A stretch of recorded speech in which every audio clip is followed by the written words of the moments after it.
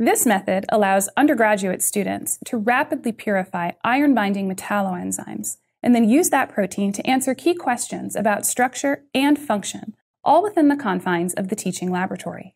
The main advantage of this technique is that it is applicable to non heme iron binding enzymes.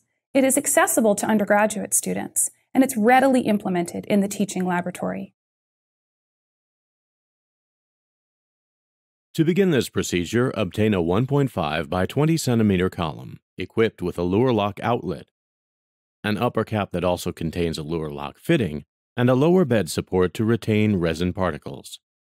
Fit the lower Luer lock fitting with a stopcock to control flow. Next, obtain a bottle containing a 50% slurry of nickel-bound nitriloacetic acid resin in 20% ethanol that was previously stored at 4 degrees Celsius. Gently swirl the bottle to evenly resuspend the resin.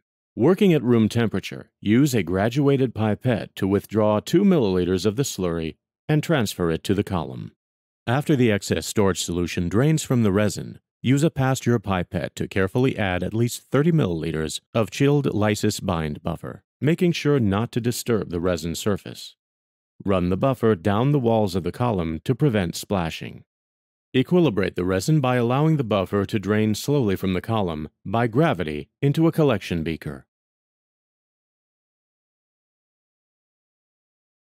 To begin, prepare the nickel NTA column for the addition of the cell-free crude extracts by opening the stopcock and allowing the remaining lysis binding buffer to drain by gravity through the nickel NTA resin. When the buffer has drained